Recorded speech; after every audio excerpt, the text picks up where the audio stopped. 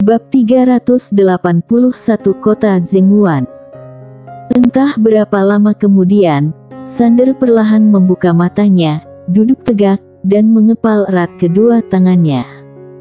Boom! Aura mengerikan memancar dari tubuhnya. Sander tertegun. Dirinya benar-benar telah mencapai ranah Kaisar Dewa. Seolah teringat sesuatu, ia melihat ke tubuhnya. Saat ini, tubuhnya memancarkan cahaya emas yang samar. Sander mengayunkan kedua tangannya yang digenggam. Boom! Sander sangat gembira, kekuatan fisiknya telah meningkat setidaknya beberapa kali lipat. Mulai saat ini, Bahkan Kaisar Agung Nasib pun sulit melukainya, karena ia telah diperkuat oleh sumber Tao dan kekuatan dewa nyata. Sander bangkit, mengeluarkan pedangnya dan menebas. Bas. 200 lapis jurus menebas langit menghunus pedang. Seluruh ruang dan waktu bergejolak. Sander melihat pedang di tangannya dengan terkejut, tak disangka jurus ini bisa sekuat ini. Bahkan ketika dirinya mencapai tingkat Kaisar Agung pun belum bisa melakukan ini. Namun sekarang, meski hanya berada di ranah Kaisar Dewa, ia bisa melakukannya, ini benar-benar di luar nalar. Sander tahu, ini karena kekuatan fisiknya yang kuat. Kekuatan fisiknya kini jauh lebih kuat dari sebelumnya. Sebuah suara tiba-tiba terdengar dari samping, selamat. Sander menoleh dan melihat Rosa berdiri tak jauh dari sana. Kali ini ia mengenakan gaun panjang biru muda, rambut panjangnya terurai, kedua tangannya diletakkan di belakang, senyumannya sangat indah. Rosa sangat cantik, ia memiliki karisma lembut. Sander tak menjawab, ia perlahan menutup matanya, kedua tangannya dikepal erat, dan kekuatan mengerikan mengalir keluar dari dalam dirinya. Murni kekuatan fisik. Kekuatan fisiknya telah meningkat banyak, ia bahkan merasa bisa menghadapi Kaisar Agung Nasib tanpa pedang. Rosa berkata, sekarang kau butuh pertarungan sesungguhnya. Sander mengangguk, seolah teringat sesuatu, ia menoleh ke Rosa, tanpa berkata apa-apa. Rosa tersenyum, ingin bertarung denganku.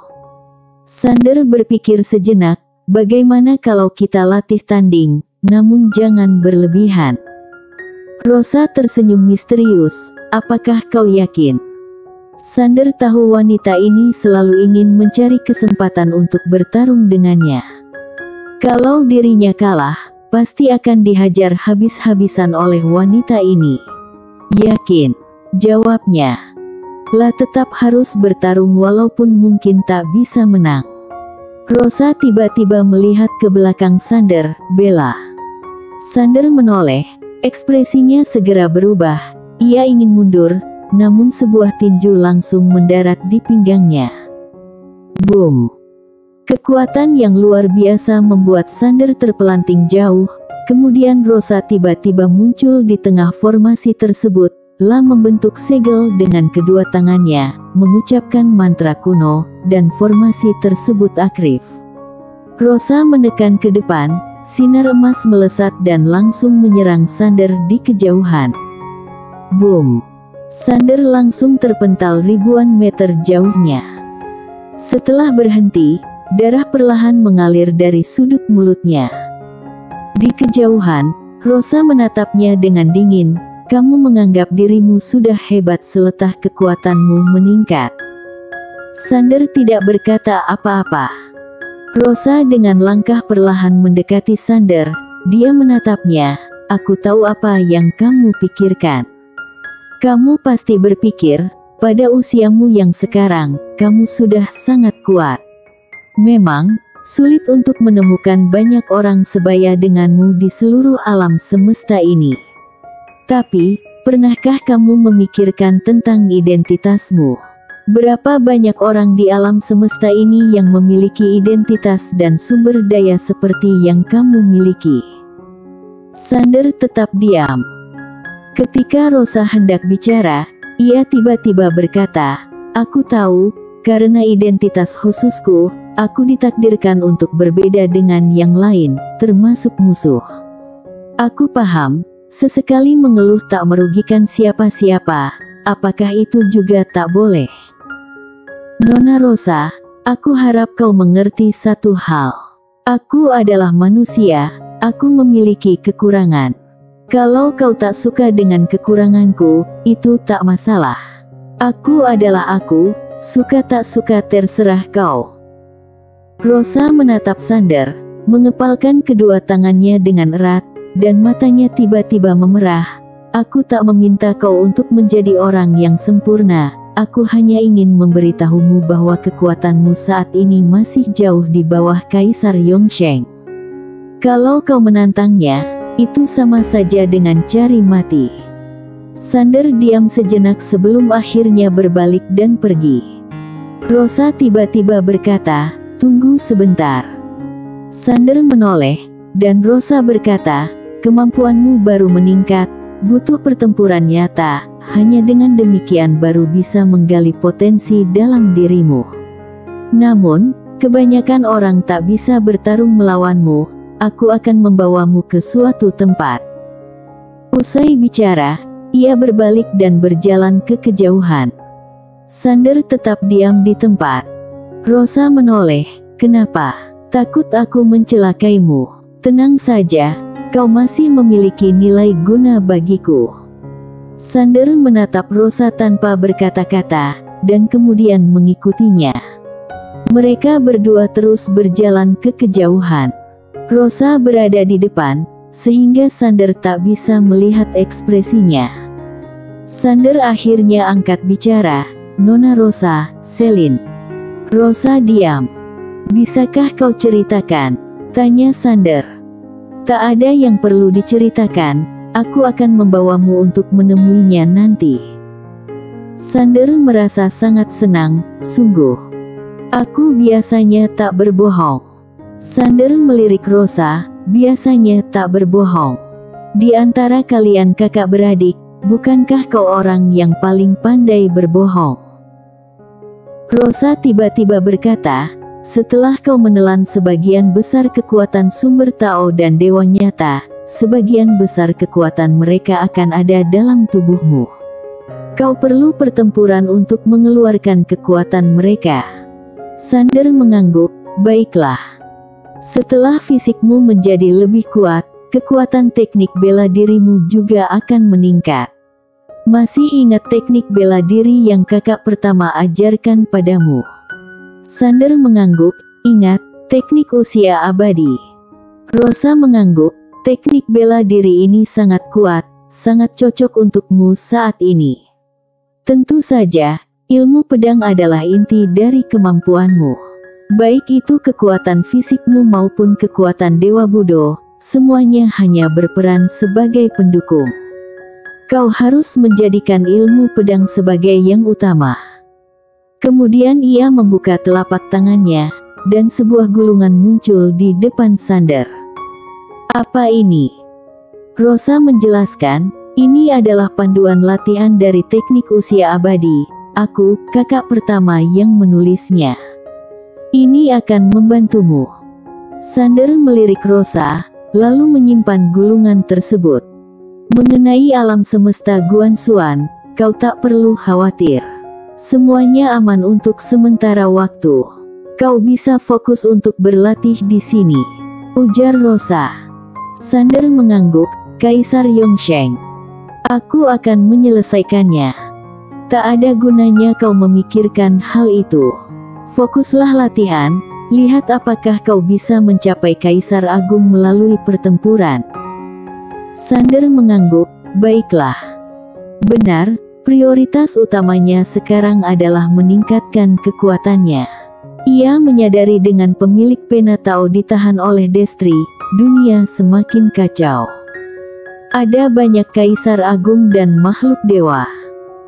Sander sekarang sudah paham, lawannya bukanlah generasi muda, melainkan generasi tua, para orang tua yang sudah hidup jutaan tahun. Sander mendesah pelan.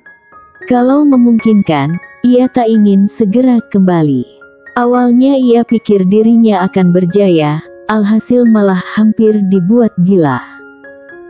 Dimulai dari keluar dari keluarga Y, ia terus bertempur sepanjang jalan, benar-benar hampir membuatnya gila. Rosa tiba-tiba berhenti dan melihat ke kejauhan, beberapa ratus meter dari mereka, ada sebuah panggung pertempuran besar. Naiklah. Sander mengangguk dan pergi ke arena pertempuran. Rosa menatapnya tanpa berkata-kata. Setibanya di arena, Sander mendengar Rosa berkata, Aku telah menemukan tiga lawan yang bagus untukmu. Kemudian tiga orang tiba-tiba muncul di arena pertempuran. Sander terkejut. Karena mereka adalah Koban, pemimpin kompi penaklukan dan panglima pasukan senja dewa. Sander tak menyangka Rosa akan mencarikan tiga orang ini untuk menjadi lawannya. Orang-orang ini adalah tokoh yang paling kuat di alam semesta nyata sekarang. Koban tiba-tiba berkata, aku duluan. Kemudian ia melesat ke arah Sander. Sander terkejut, tak berani lengah dan langsung melawan. Di sisi lain, Rosa menatap Sander sejenak, kemudian pergi. Beberapa saat kemudian, ia kembali ke istana Dewa Nyata. Di dalam ruangan, hanya ada menteri kiri. Rosa duduk di depannya. Bagaimana situasi pavilion Xianbao saat ini? Sesuai instruksimu, mereka diberikan kemudahan. Kemampuan bisnis mereka sangat hebat dan berkembang dengan cepat. Tak lama lagi, mereka mungkin akan menjadi bisnis terkemuka di alam semesta nyata. Jawab Menteri Kiri. Rosa mengangguk, Aku sudah menyusun sebuah rencana. La mengeluarkan peta, kemudian menunjuk ke suatu tempat, tempat yang paling dekat dengan alam semesta Guansuan. Di sini akan kita bangun sebuah kota.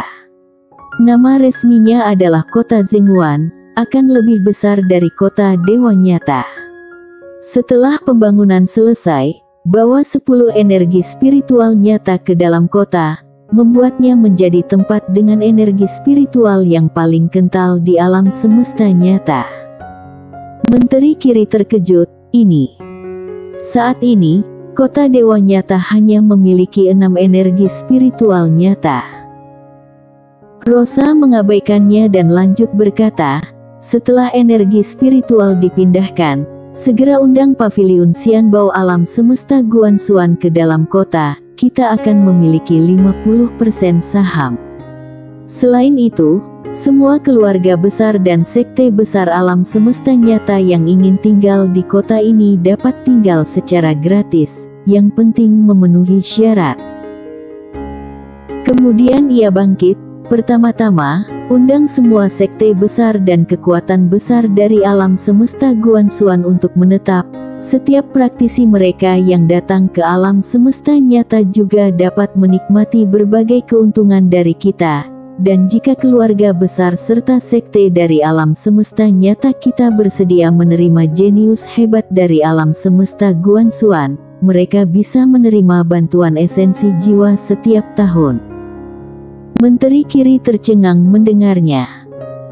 Rosa lanjut berkata, selain itu, Subjek yang direkrut oleh tiga pasukan besar tak lagi terbatas pada alam semesta nyata saja, itu juga terbuka untuk alam semesta Guansuan dan berbagai alam semesta. Selama memenuhi syarat, kita akan menerima mereka. Menteri Kiri ingin mengatakan sesuatu, namun Rosa berkata, kita akan mengadakan turnamen setiap tahun di kota, yang terbuka untuk berbagai alam semesta, Juara pertama akan mendapatkan 30 juta esensi jiwa, ditambah dengan metode latihan dan teknik bela diri kita, kau bisa memikirkan rinciannya. Menteri Kiri bangkit, dan Rosa kembali berkata, yang terakhir, kita akan menghapus segel antara alam semesta nyata dan alam semesta Guansuan serta berbagai alam semesta lainnya.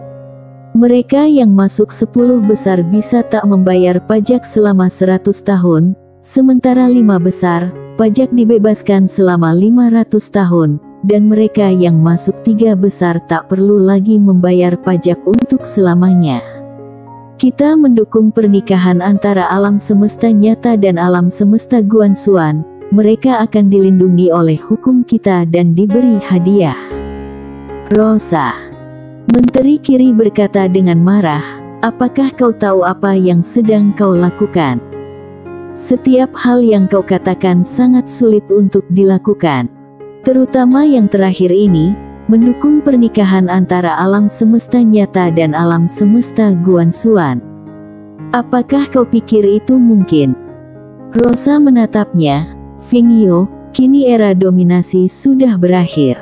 Pemilik Penatao ditekan dan dunia menjadi kacau. Kalau alam semesta nyata masih teguh pada pendirian sebelumnya, pada akhirnya akan lenyap. Fingyo menggeleng, tidak bisa. Kalau melakukan seperti yang kau katakan, akan ada banyak kekuatan dan sekte di alam semesta nyata yang memberontak, apalagi alam semesta Guansuan adalah musuh bebuyutan kita. Rosa tiba-tiba berkata, Orang yang menekan pemilik pena Tao adalah bibinya. Fingyo terdiam.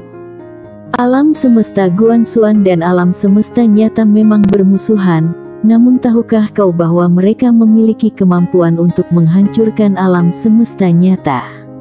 Pada era Master Pedang Dunia, alam semesta nyata tak hancur karena Master Pedang Dunia ingin menerobos dewa, dan orang di belakangnya tak bertindak, kalau tidak kita sudah lama lenyap. Usai bicara, Rosa menggeleng dan lanjut berkata, alam semesta nyata tak bisa lagi bersaing dengan alam semesta Guansuan.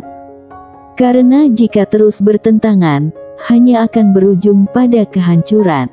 Yang bisa kita lakukan adalah memungkinkan orang-orang dari dua alam semesta saling berkomunikasi, memungkinkan pernikahan antara orang-orang dari dua alam semesta ini.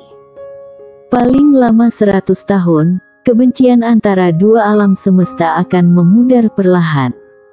Pada saat itu, menjadi kedua alam semesta menjadi satu keluarga, empat pedang bukan lagi ancaman terbesar kita, melainkan perlindungan terbesar, kalau Selin bersamanya, mereka tak akan dilema lagi, sebaliknya, mereka akan memperkuat persahabatan antara dua alam semesta, dan semua orang akan memberi selamat kepada mereka.